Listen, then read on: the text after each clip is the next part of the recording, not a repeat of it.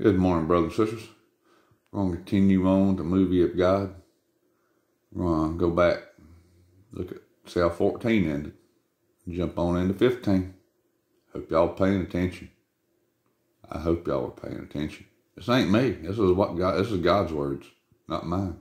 I'm just repeating them, showing them, and commenting. I am telling you the truth. The man who does not enter the sheep pen by the gate, but climbs in some other way as a thief and a robber. The man who goes in through the gate is the shepherd of the sheep. The gatekeeper opens the gate for him. The sheep hear his voice as he calls his own sheep by name, and he leads them out. When he has brought them out, he goes ahead of them, and the sheep follow him because they know his voice. They will not follow someone else. Instead, they will run away from such a person because they do not know his voice. I have the right to give it up, and I have the right to take it back. This is what my father has commanded me to do. How long are you going to keep us in suspense? Tell us the plain truth. Are you the Messiah? Well, we learned he's the shepherd. People that trust the shepherd follow his voice, words. They don't run to another. They do not run to another. Do you understand? And the Lord told Jesus, you got the right to lay your life down and you got the right to pick it back up. So apparently the Lord raised himself. He's God. And the people don't listen. They refuse to listen. He's told them for three and a half years, and they still don't listen. Just like people today, they don't listen. They follow another.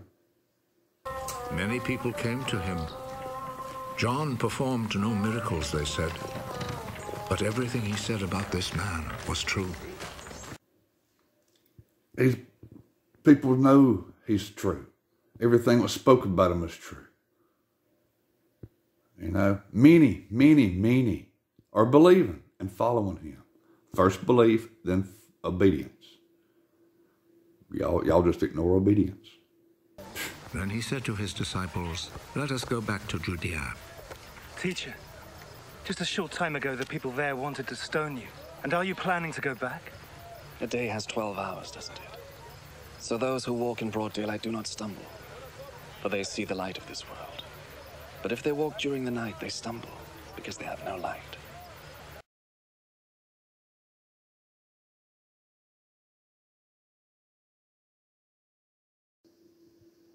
Another contradiction from Saul. Oh, well, that's nothing. That, that, that's just, that don't mean nothing. Don't mean nothing?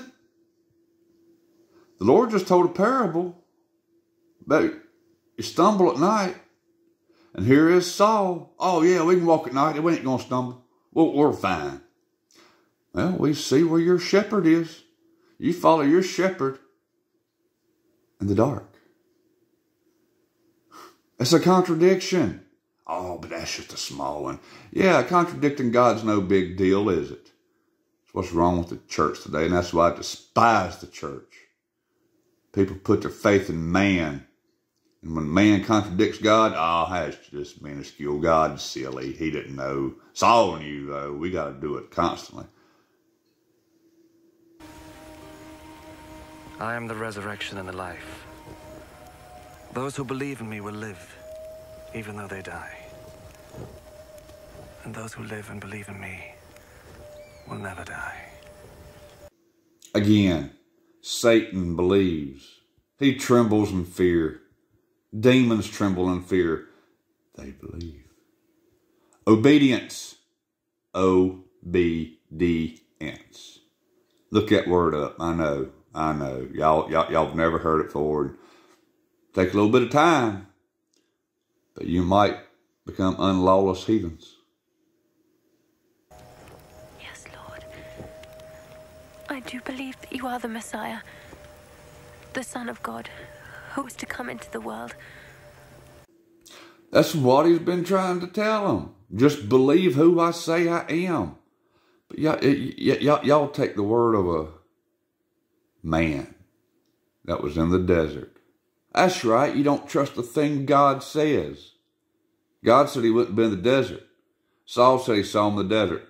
Saul's right, huh? Saul's telling the truth. Jesus, he didn't know what he was saying. You make me sick, people. You make me sick. Lord, please keep my flesh down. y'all can't give God nothing. If he says something, and Saul of Tarsus says something that contradicts it, oh, well, Saul's right. Enjoy hell. That's all I can say. You're following a liar and a thief. Hadn't you been paying attention to what God's been saying? No, that's right, you haven't. Because you hate anything about God. I ain't, I ain't praising Saul. That's why.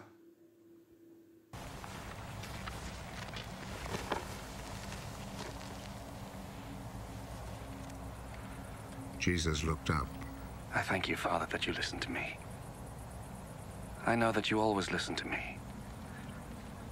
But I say this for the sake of the people here. So that they will believe that you sent me.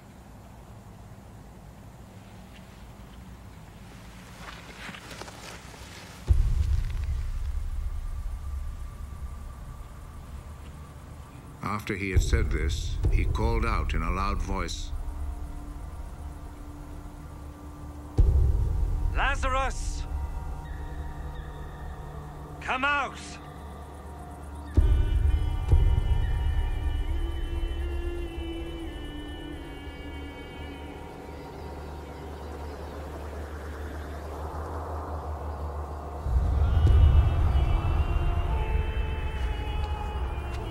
He came out.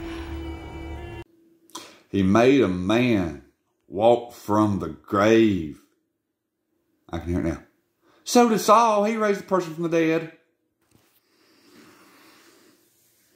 Thus, everything I've been saying about you people, you don't love God. You don't love God. You can't be obedient.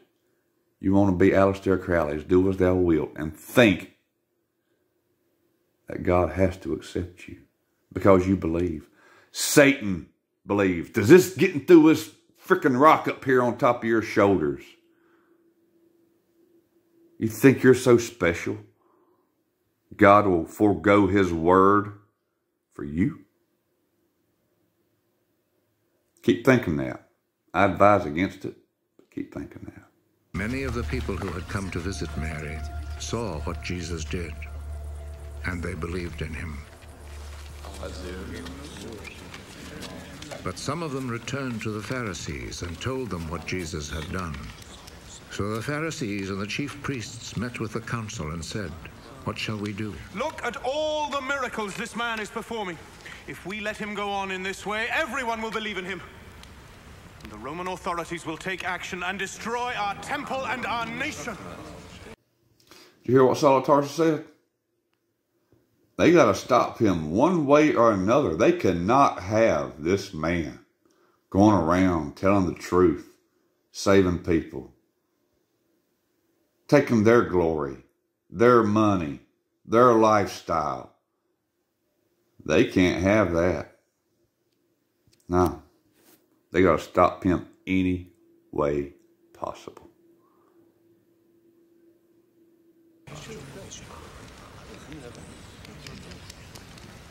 One of them, named Caiaphas, who was high priest that year, said, What fools you are!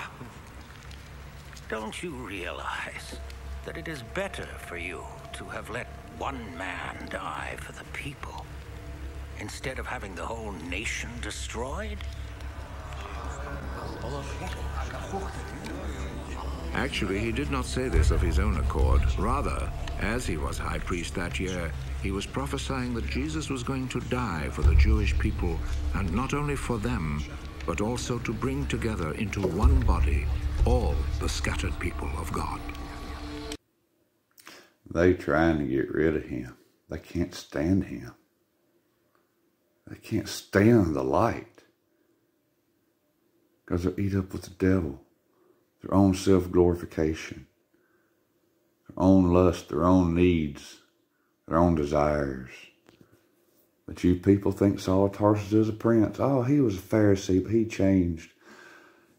He said he changed.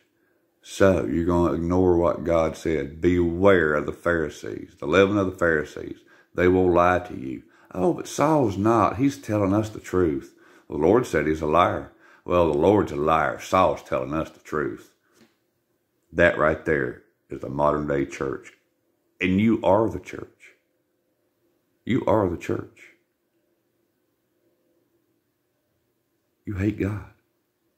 You despise God. Don't tell me that. Because God warned you. God warned every single one of you.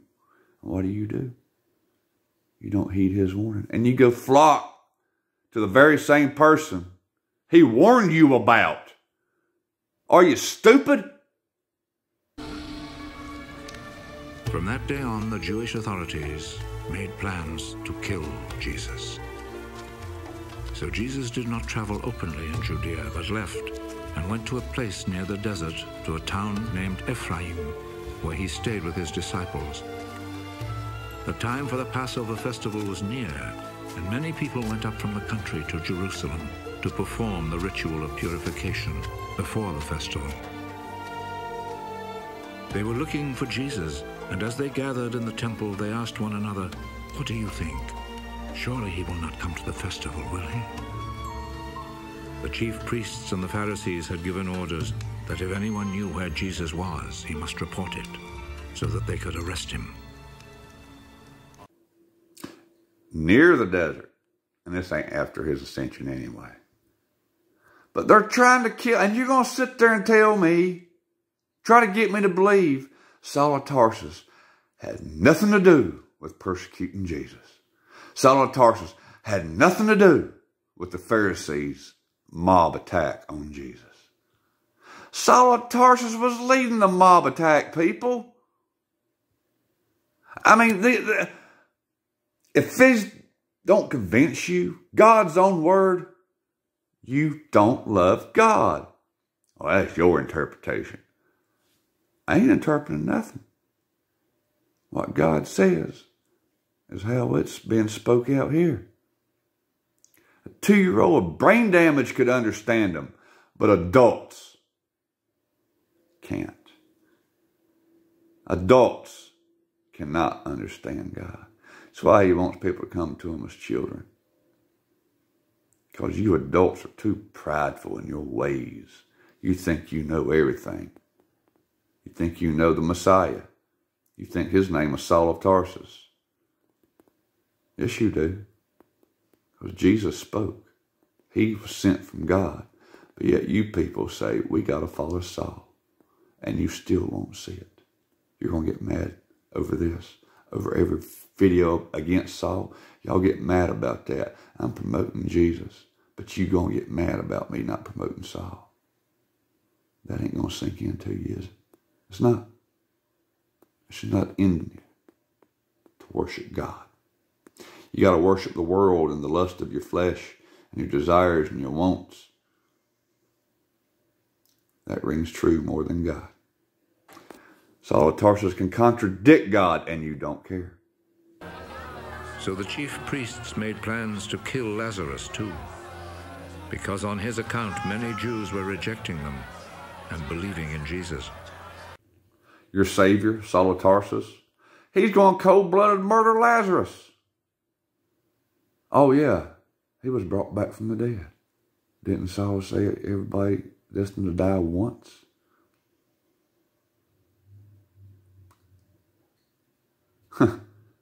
Your Savior is trying to commit cold-blooded murder against another person. But that's who y'all place on that placard in the church. You jerk Jesus down off a cross and he threw Saul Tarsus up in his place. I'm telling you people, y'all disgust me.